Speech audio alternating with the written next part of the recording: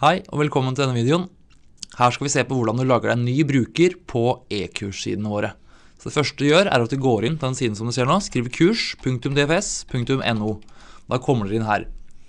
Det første du må gjøre er å trykke login der oppe, og så ser du da at ja, det er første gang vi er her. Trykker da registrer deg.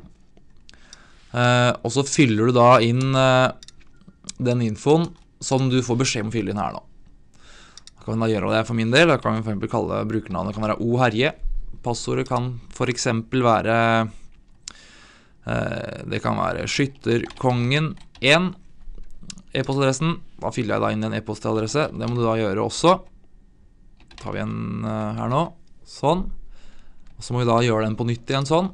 Så da kan vi da fyller du da videre ut da navn og sted og land. Det er det som er obligatorisk, er de som er markert med de utropstegnene. Det ser også at skytterideen er markert som eh, eh, obligatorisk. Så fylte inn alt der.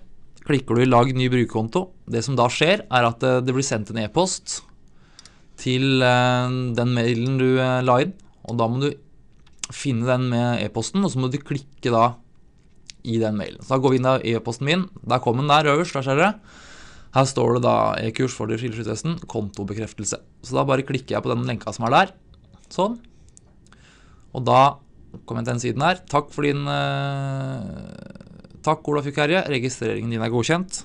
Fortsett. Og du er da inne og kan ta kurs.